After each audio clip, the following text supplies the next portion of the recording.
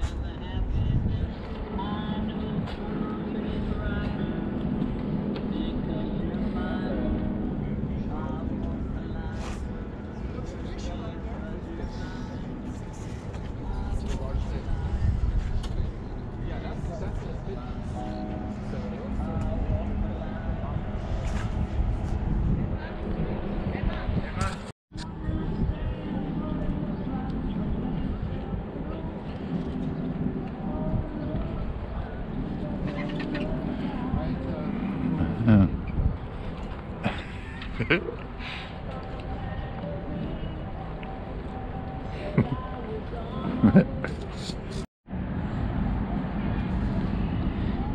down here, pilot ready rooms.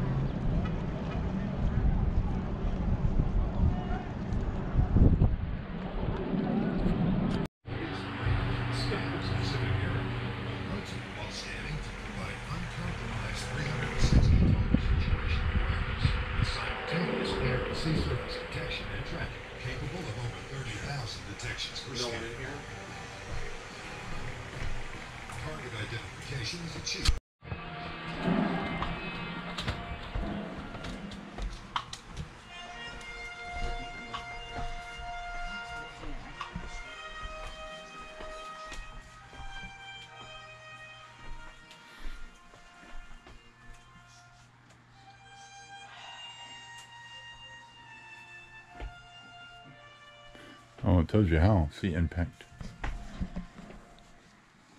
Hmm. Engine failure, collision.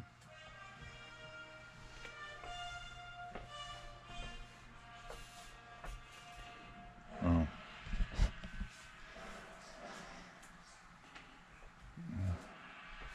Is there any ACs? But these are all the ones that. Hey, if you see A slash C, that means a plane killed them. Well, look over here.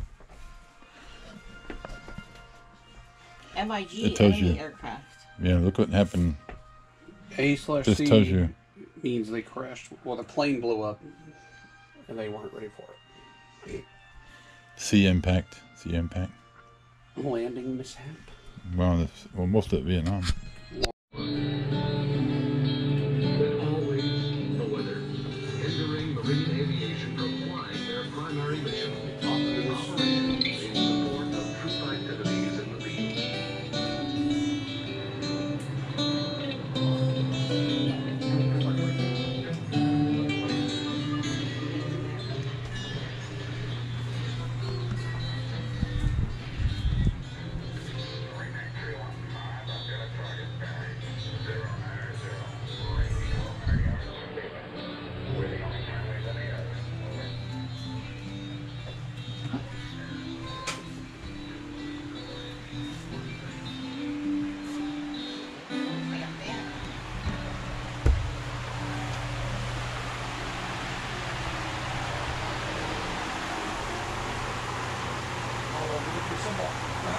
Look, seating. Look.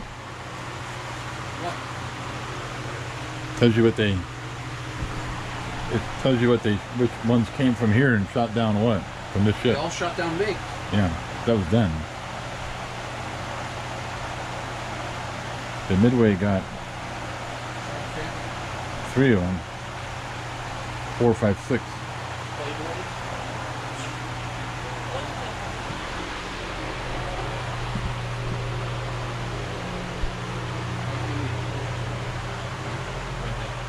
Look at this one over here. Satan's kitten. Satan's kitten. Satan's kitten. Grim Reapers.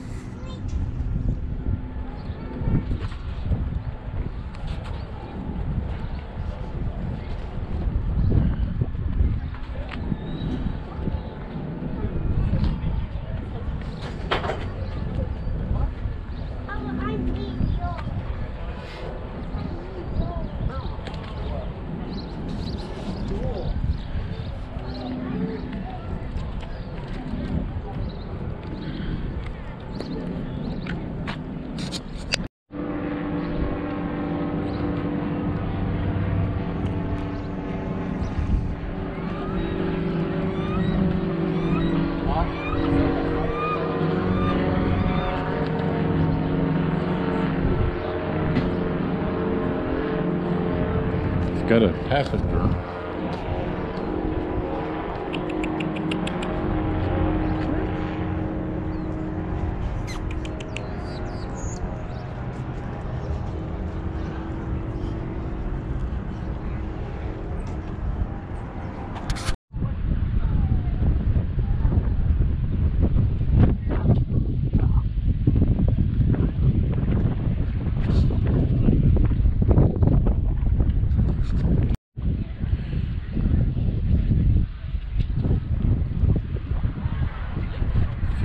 Roosevelt in the background.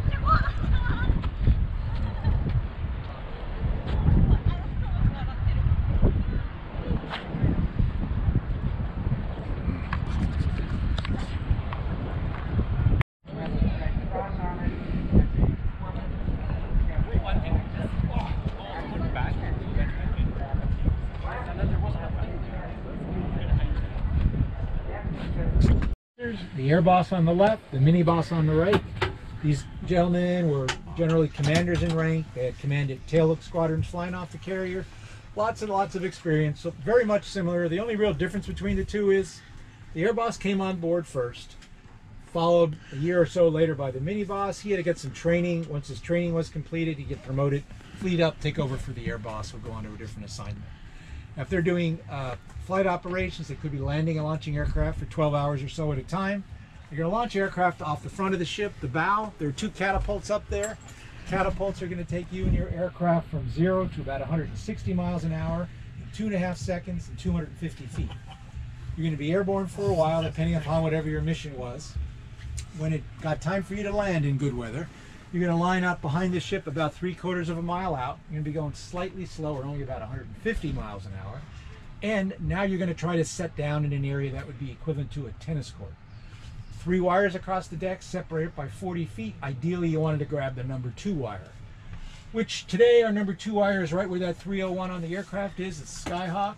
They're going to grab the wire there. They're going to roll forward and roll out 340 feet until they'll be stopped.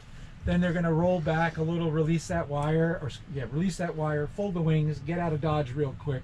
45 seconds later, during the daytime, another aircraft touches down. The name of the game was to launch aircraft as quickly as possible, and the same thing with recovery. Now at nighttime, yes, it's much more dangerous, if you look out there in the four acres of flight deck and imagine the ship actually moving, uh, there's no cyclone fencing, very, very dangerous spot. So they increase the safety all the way out to a minute interval between aircraft. So not a lot of time, very dangerous place. There'd be about 200 sailors on the flight deck to facilitate landing and launching aircraft. Now, as far as up here goes, there'd be 10 to 12 people. We talked about these two, right where I'm standing in front of this box. This is called the Fresnel lens control panel. What it did is it produces a visual glide slope for the pilots to use when they come on board. Basically, it tells them too high, too low, right where you should be. Our Fresnel lens is right behind those blue garbage cans in the direction I'm pointing. We have a nice mock-up if you wanted to see all the different patterns.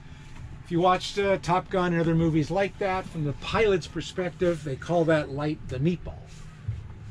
Now right next to it, this is the arresting gear monitor panel. Sailor operates this. He's going to get the mic and he's going to tell them the type of aircraft that's going to be coming down next. Then he's going to stare at the gauges until the tension in the wires is set for that weight of that aircraft. It's important that they all stop in that 340 feet, regardless of their size, because that's where the sailors are going to be to get them out of the way for the next landing. Now, what's that board all about? That's called a land launch status board right there. And that's going to have information about the aircraft in the air, about to be in the air, things like who's the pilot, what type of aircraft are we talking about, what's the mission, what's the side number so you could call it out from up here.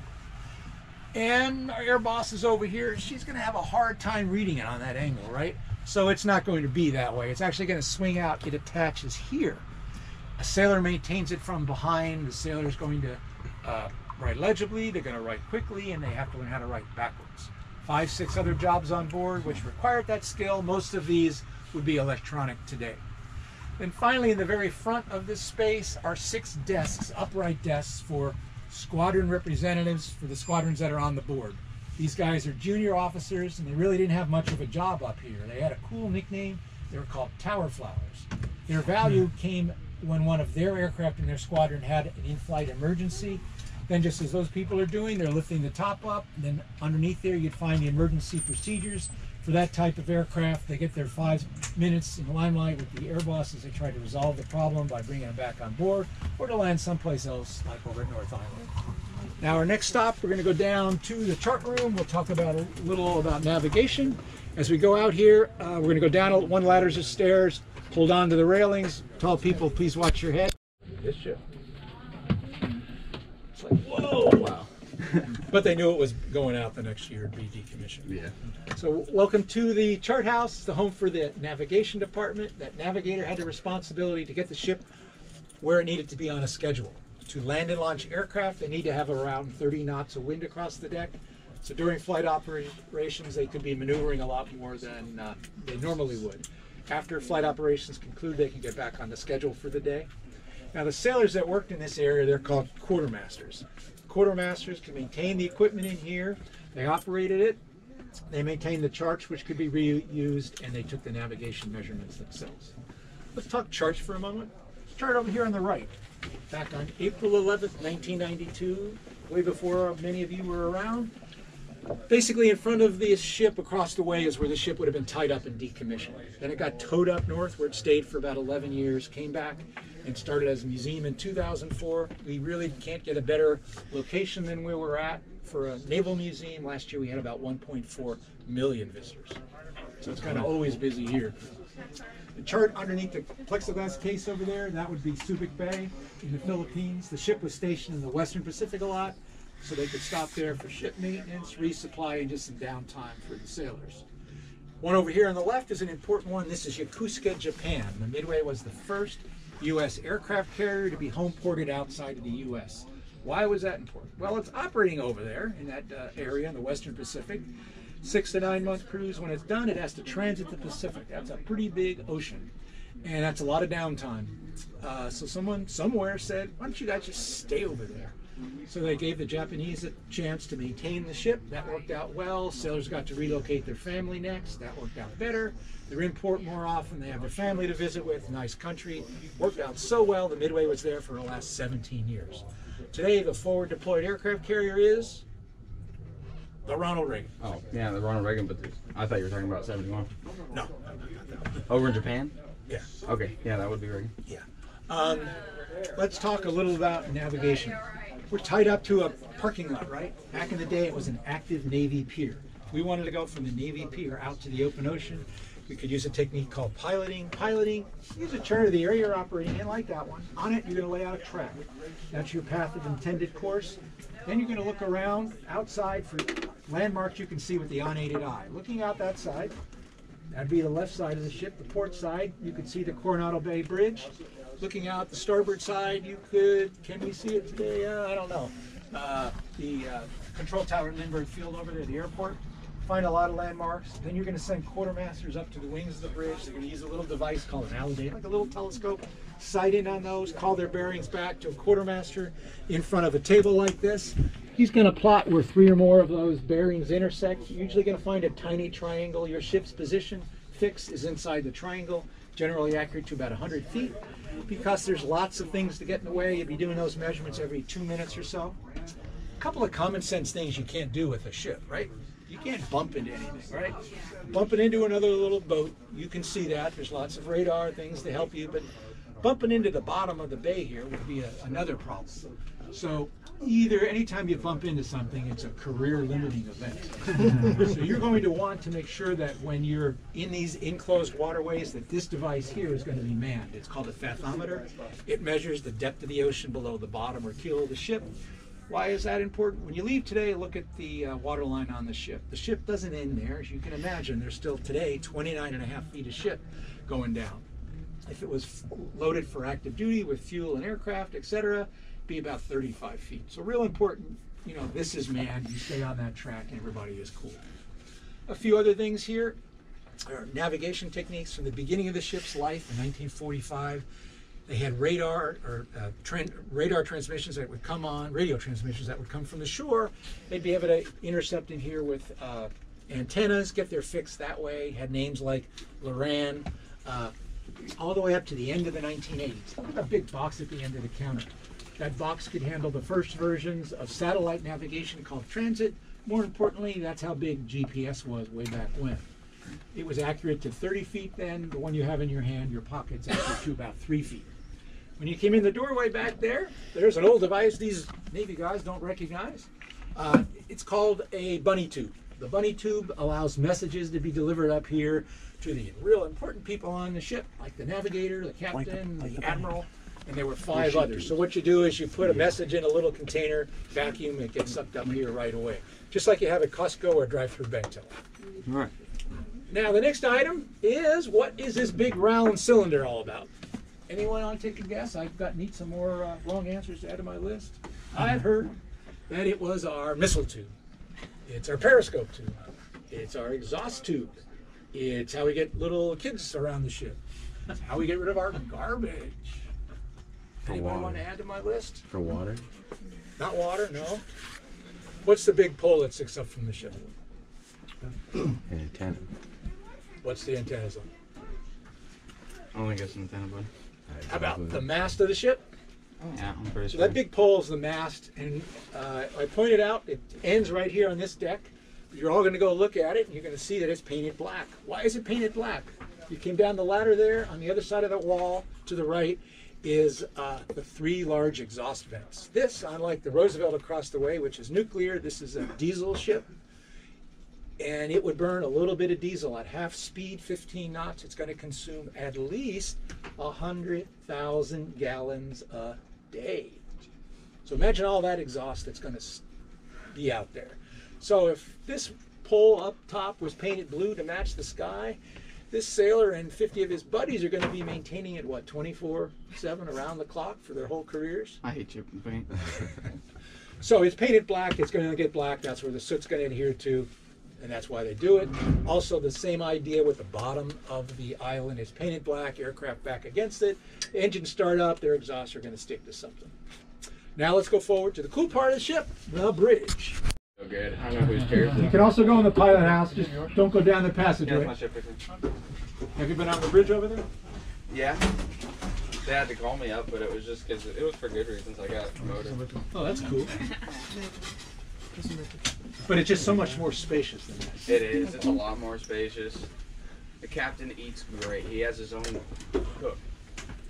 Have you been on the Admiral's Bridge? No.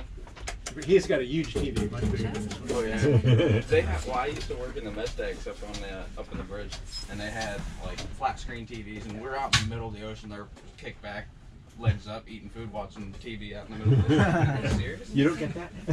No, I don't get So, that. I'm everyone, welcome to the uh, bridge. The navigation bridge is forward. The pilot house is in the back. This is where all the command and control came from to operate and navigate the ship. Today, we have an actual Navy sailor on board from the Roosevelt. He's in the CO's chair. CO stands for Commanding Officer. He would have been one of about 40 different captains that sat in that chair. He'd be a little older, 46 to 48. He'd be in command 12 to 18 months. It was a great place for him to be in command of this ship because 30 of those 40 captains went on to become admirals later on in there. And also, if he wasn't the captain, no one really would ever go near that seat because there was a high price to pay, right? Yeah, you don't touch the seat. Uh, so all the command and control, though, to run the ship didn't come directly from him. He got involved when he didn't like what was going on. There was a team up here called the Bridge Watch Team. The watch team was led by the officer of the deck. This was his general uh, operating area up here.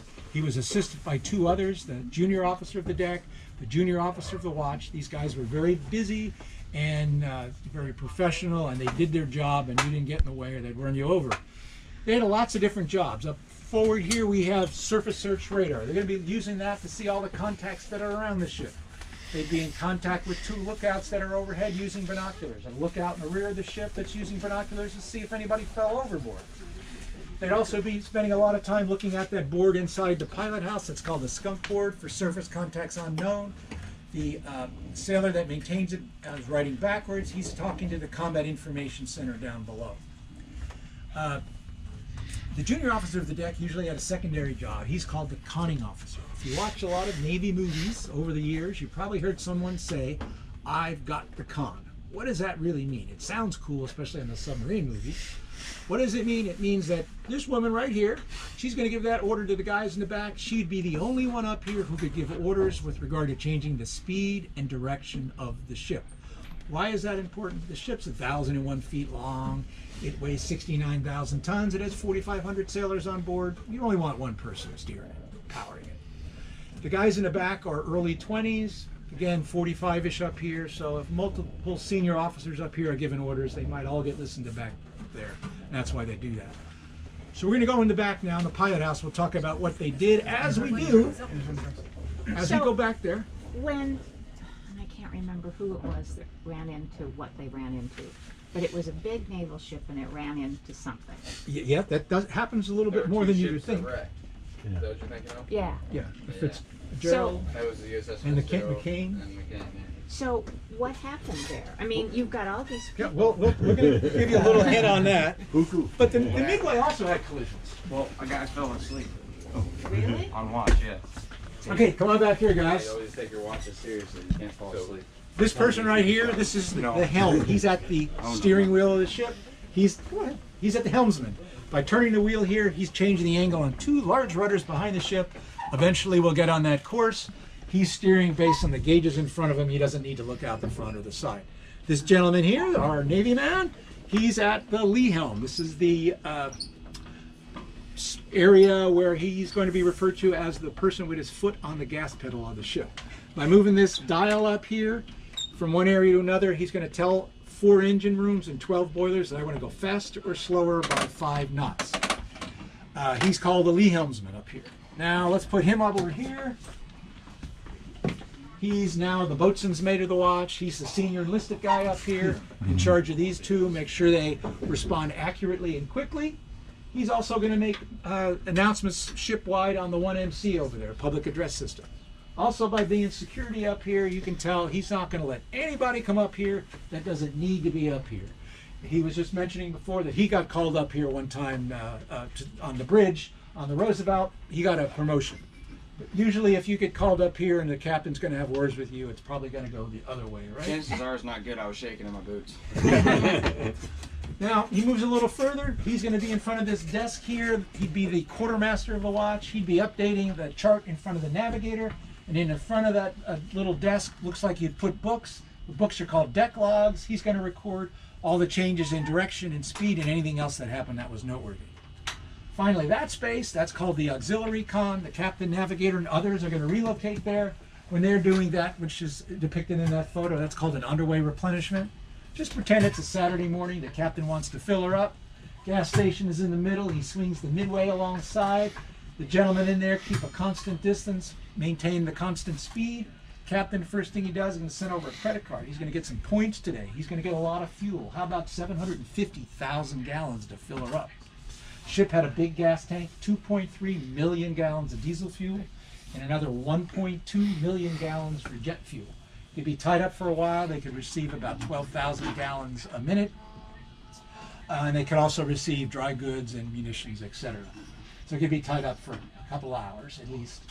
Last thing we see, we're going to exit down this uh, passageway and go down three ladders. As we do, though, someone said about the collisions. Well, the captain generally it's his ship; he can go wherever he wants, right? But the officer of the deck had standing orders when to get the captain involved. If he's down on the hangar deck, he can't get involved to, to solve a small situation. So generally, he's going to be up here on the bridge, or he could be in his uh, at sea cabin, which is right there. He could sleep, he could take meals, meetings, take a shower. Generally, he's up here so he can answer, uh, create, uh, solve problems so you don't read about him in the paper the next day.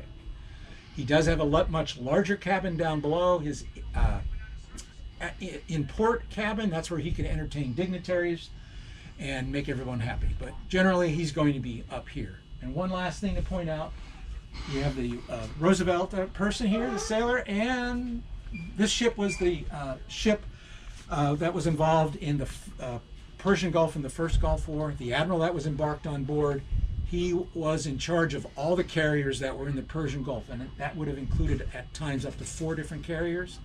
And it included the Roosevelt across the way that the admiral on board this ship was in charge of. And uh, I've been on both, and this the accommodations here are not quite as stellar as they are over there. Thanks for coming, folks, and have a great day on the Midway. A lot more to see.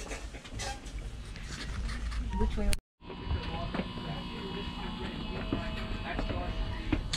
Yeah.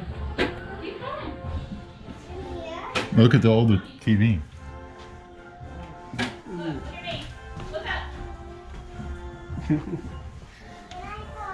Keep going.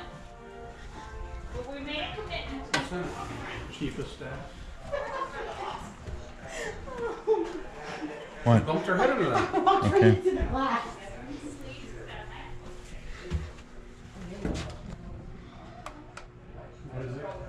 where they had all the important meeting rooms. A fake steak. I want that for dinner. Steak and potatoes. Just one cook by himself. That was just for him.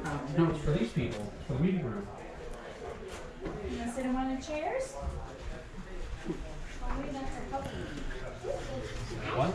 I wonder if that's where Papa would have been. What is it? What did he do? Teletype. He received the transmission You should take a picture of it with your phone. You might know what room it is. Tactical flight command explosion. This is where We asked him what it was. executed that. For the radio.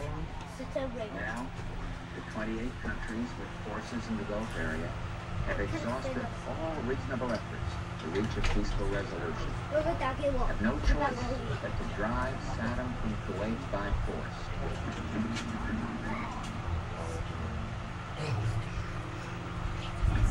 We will not fail.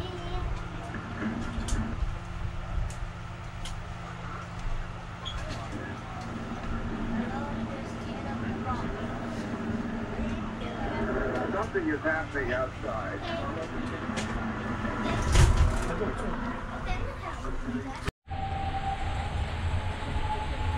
I can call him.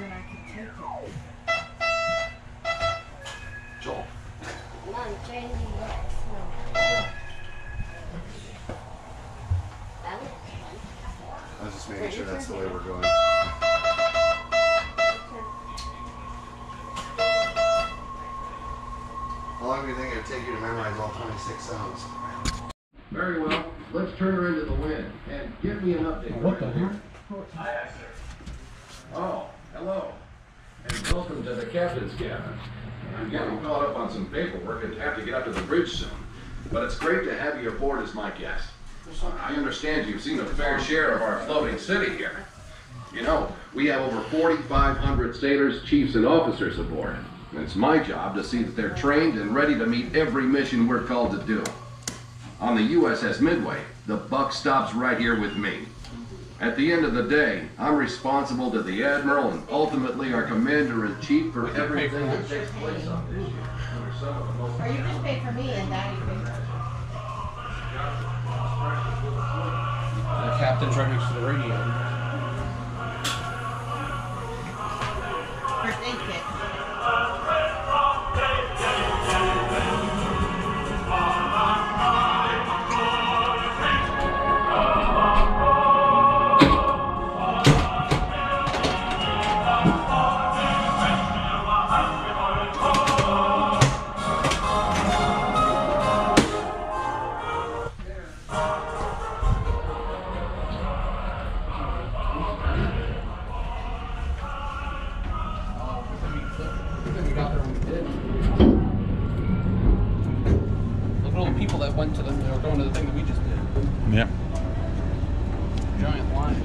Said to get early.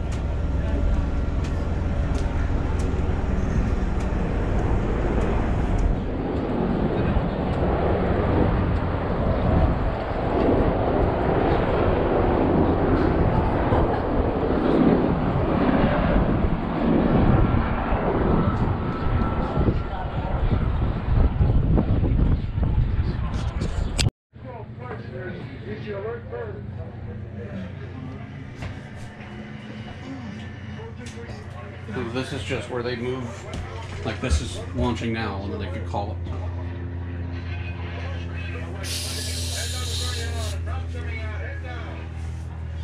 They know where all the planes are in here. feet above the bay. 248 feet, which means if you're afraid of heights or big bridges,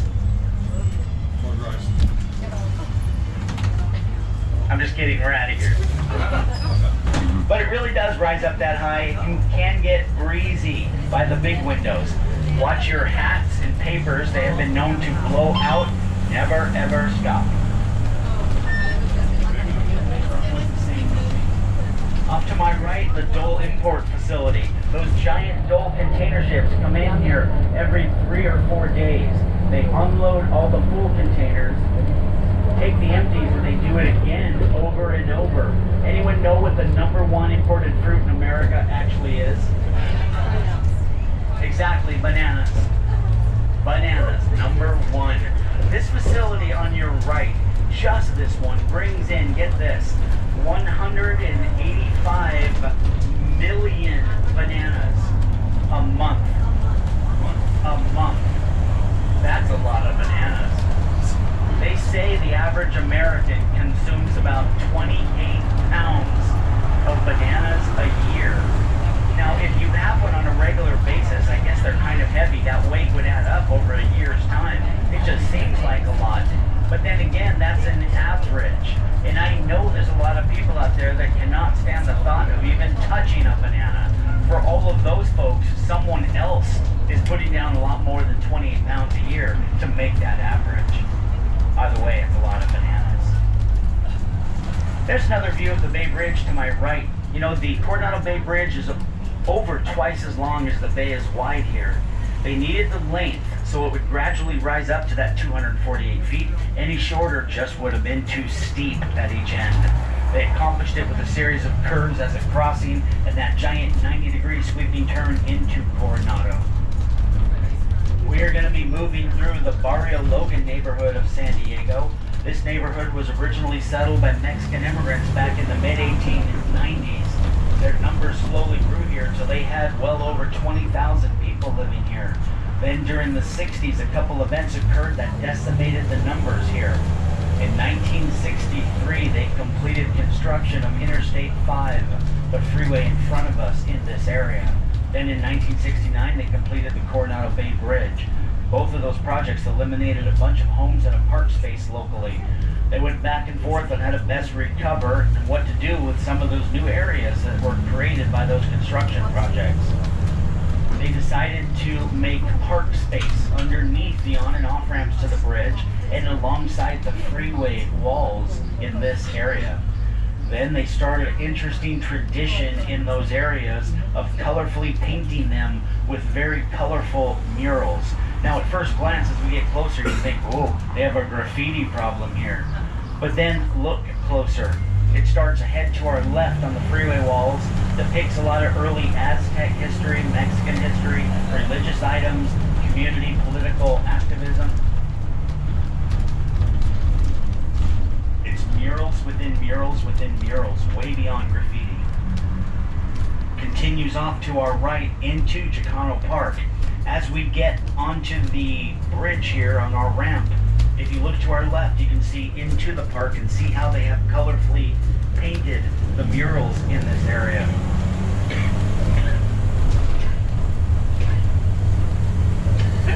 As we cross the Coronado Bridge, to my right will be downtown San Diego, Point Loma, Coronado, our bay. To my left, our naval shipyards, our South Bay, and any of the landmass on our left. The dark colored land rising up and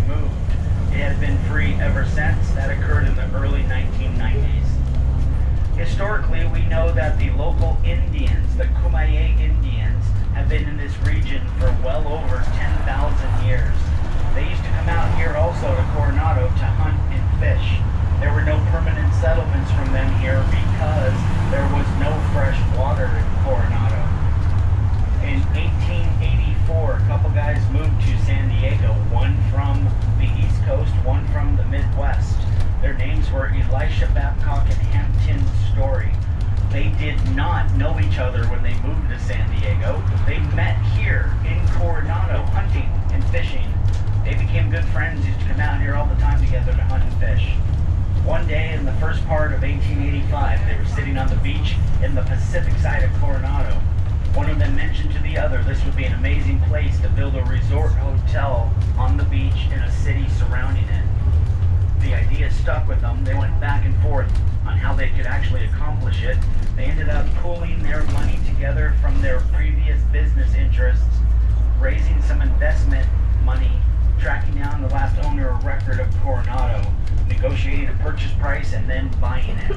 All the land here in Coronado for $110,000. They now owned it all, but they did not have much money to move forward and do anything. Following what Alonzo Horton did, after forming a company named the Coronado Beach Company, they advertised all over the United States and Europe. In their ads, they talked about their future plans for a giant resort hotel on the beach, the city they were going to build around it, the land that would be for sale at auction. They talked about the weather, the climate, the proximity to the ocean and the bay. They promised everyone that showed up to the first day of auction a free boat ride to get to Coronado and a free lunch while they were at the auction. That first day arrived and the Coronado Beach Company ended up serving 6,000 people lunch. But they did raise well over $110,000 the first day alone. The auction Directly in front of us is the Pacific Ocean and the beach of Coronado. You know, this is the same view Juan Cabrillo would have seen back in 18. What was that? That was back in the 1850s when he first sailed his ship, the San Salvador, into the bay. Now, no wonder why he veered off to the right, found the opening of the bay, and uh, the rest is history here. The big Coronado sandy beach is consistently ranked one of the top 10 beaches in the United States year after year. The Mr. Beach report comes out the beginning of summer. This past summer, we were ranked number nine in the USA. By the way, the islands off to your right in the ocean there are the Coronado Islands. They're in Mexico waters. And check out all these sand dunes on your right. If you have dunes like this where you're from, I guess no big deal. Here, it is a big deal because they're not natural, they're all man-made, and they're most definitely not random. What you are looking at are giant letters, and the letters spell out the word Coronado across the beach. Look, there's the A to our right. If that is the A, that means the N will be coming up before it for Nado. This was done by a city worker named Mondo Moreno. They call it Mondo's Beach in his honor. If you ever want to see this, Google Earth the Hotel Del Coronado. Look a little north in the sand, zoom in, and the word Coronado comes into focus in the Google Earth image. Ahead to our right, Hotel Del Coronado opened up February 14th, 1888. Came at a cost of 1 million. Over 2 million red tiles make up the roof structure here. Now, behind this fence here is that underground parking garage we talked about. You'll be able to sneak through little openings and see it. Three stories down, the water level is 10 feet below the surface. Big, big job here. Many movies filmed in this area. I got a clip of one filmed right here at the hotel. Let's see if you can guess who this is, maybe what the movie was. Well,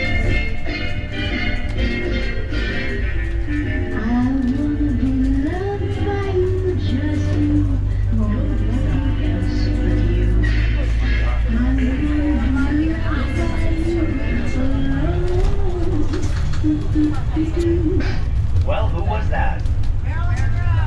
And I didn't hear the movie. That was something Like It Hot, Jack Lemmon and Tony Curtis. You know, in the movie, it takes place in Florida, but we know it actually was filmed right at the Hotel Del Coronado.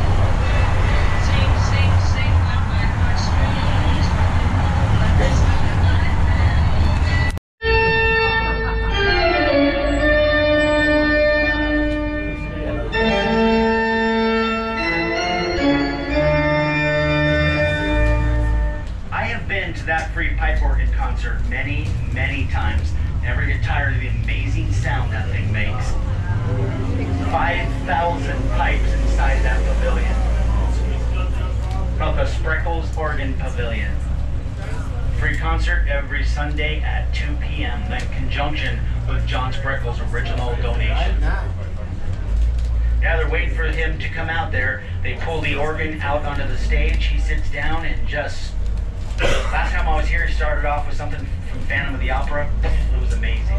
Amazing. Off to my right, Japanese Friendship Gardens. They go down in the canyon. Can't see too much from up here, but they are down there. Directly in front of us, the San Diego Museum of Art. Beautiful art museum. To my left, the Mingei International Museum. On my right is the Balboa Visitor Center and the famous Prado restaurant. And then the little pathway just on the other side of the visitor center takes you down to the right to the Natural History Museum, the Fleet, excuse me, the Fleet Science Center and the Model Railway Museum. Over our right shoulder, the large brown wooden lath structure is the botanical garden area. There are thousands of species of plants growing inside that building. It is also one of the world's largest wooden lath structures. Between us and that lath building, behind the U.S. flag and the trees, is a white building with brown trim. That white building over there is the Timken Museum of Art. That is one of the free museums in your map book. Why is Um, Prado uh, so famous? amazing food. People come from all over the world and tell other people, and they have a little board shows everywhere it's come from. It's an amazing, amazing restaurant. It has a nice balcony overlooking part of the park. Beautiful restaurant, the Prado. On our left, coming into view under the arches, the Alcazar Gardens. Now that is a maze work of gardens, modeled after the Alcazar Castle Garden in Seville, Spain. On my right, under the big arch up ahead, is the Old Globe Theater, modeled after the one in England. A lot of Shakespearean plays take place here all year long. It is a beautiful theater. We're coming into the plaza for the Museum of Man. Check out all the carvings on the front of the museum on your right. They all have something to do with the history of San Diego, all done by the Piccirilli brothers. The Piccirilli brothers, not widely known by name, are also responsible for the seated figure and face of Abraham Lincoln in the Lincoln Memorial in Washington, D.C. We're coming out onto the Cabrillo Bridge. The Cabrillo Bridge was the main entryway into Balboa Park for the 1915 Panama, California exposition that was held here honoring the opening of the Panama Canal. Now that exposition is also why all those beautiful buildings that we just went through were built. They were built for that exposition. On my right across the canyon, you'll see the little aerial tramway. That is the San Diego International Zoo. The beautiful zoo in that canyon over there almost on the hillside. Coming into view ahead to our left, a park within the park. This is Wells Point Park, a three acre off leash dog park. The dogs get to run around free off their leash in this, these acres, jumping, playing, sniffing, smelling, peeing wherever they want. They're all safely contained by fences that go all the way around the park. Look how, how fun they are in there playing around. And this big series of gates here on our left. Hopefully they remain closed. They're going in right now. Every now and then some joker props one open. Always bad. Always bad.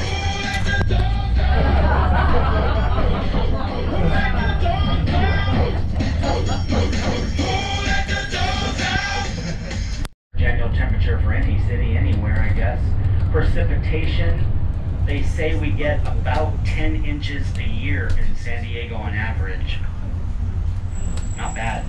We're gonna we're gonna pause from the weather for just a sec because we're gonna do our very best impression of a San Francisco trolley. You know, I don't know how they deal with this in San Francisco day in and day out. And then just think if they drive a vehicle with a manual transmission, going up and having to stop at the red lights and stop signs and having some inconsiderate park right behind you.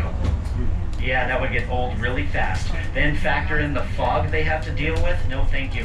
Folks, I'll stick with our horrible winter weather day like today any day. Oh, yeah, right. And this is a winter day for us too. And spring and summer and fall. You're looking at my winter uniform. Yep. It changes in winter. It'll get a little bit cooler in the nights and evenings. You have to wear a jacket in the early mornings and a jacket at night.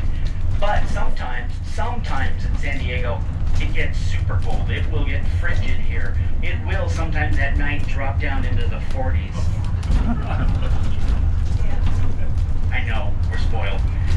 You know, what was that, about two months ago? About I was talking about temperature on the tour, and this nice lady behind me said, "Jeff, today it was minus 62 degrees Fahrenheit with the wind chill at my house." I'm like, "What part of the Arctic do you live in?" Minnesota. 31 degrees ambient, minus 31 degrees Fahrenheit ambient that day at her house.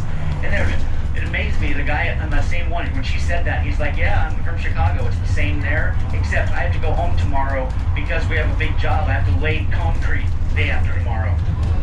I'm like, concrete? How do you pour concrete when it's that cold? He's like, we do, gotta do what you gotta do. If they change the chemical compound, they use electric blankets and stuff, but I can't even imagine being outside, all wrapped up, bundled, much less working with something wet like concrete, but they, they do it. Amazing. We are coming into Little Italy. Little Italy is actually one of the. Little Italy is actually one of the larger Little Italies in the United States. Said to be bigger in size than the Little Italy in New York City and San Francisco combined.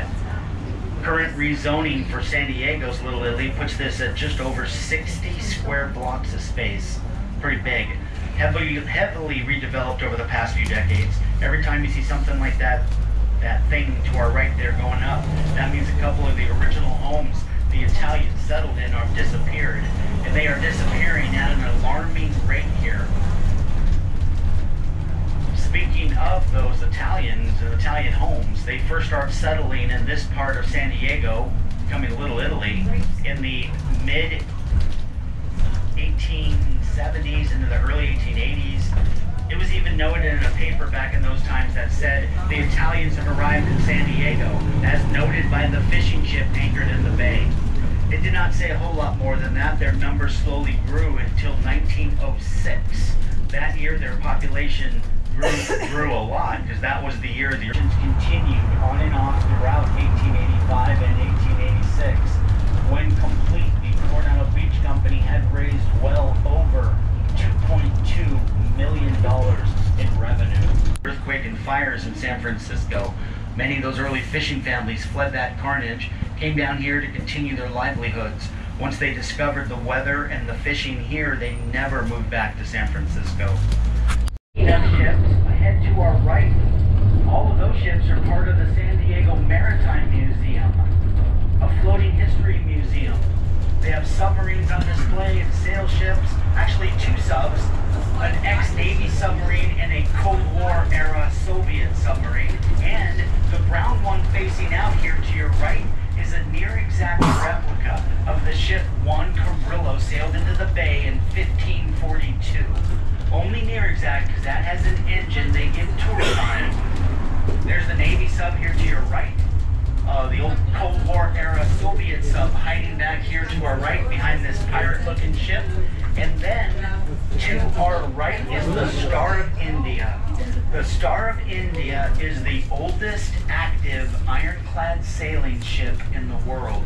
This ship was built back in 1863 or when Abraham Lincoln was still president.